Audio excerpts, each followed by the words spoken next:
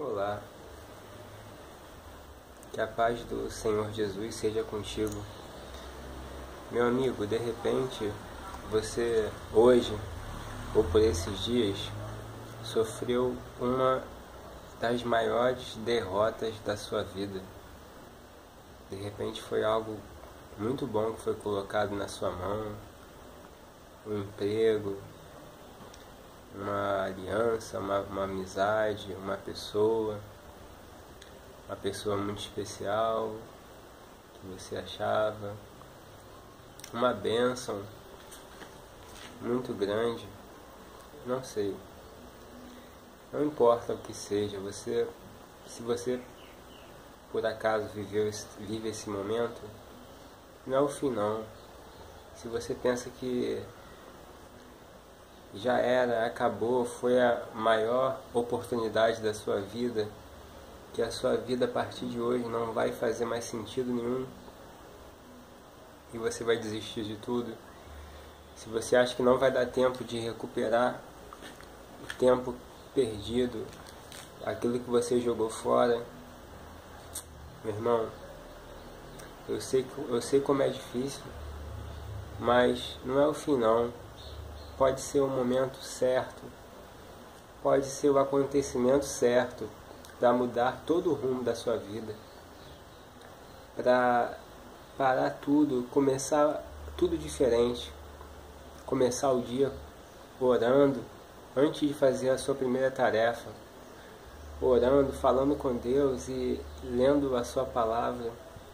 Dedicar a ler, a aprender, a buscar o conhecimento da palavra da verdade de Deus e, e receber menos influências de pessoas, de mídias, redes sociais, de internet, ok? E às vezes até de palavras que você ouve por pessoas que parecem espirituais, mas seja uma pessoa espiritual, seja uma pessoa de Deus, comece por você, orando, buscando ao Senhor e lendo a Sua palavra, nem que seja um capítulo por dia da Bíblia Sagrada.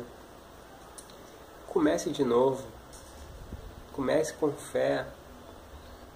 Que essa experiência negativa venha a ser apenas o início de uma nova fase na sua vida, venha a ser apenas tudo que você precisava para viver o que você jamais poderia viver que seja um recomeço, mas que seja constante, que seja diário, frequente, todos os dias nesse propósito. Tá bom?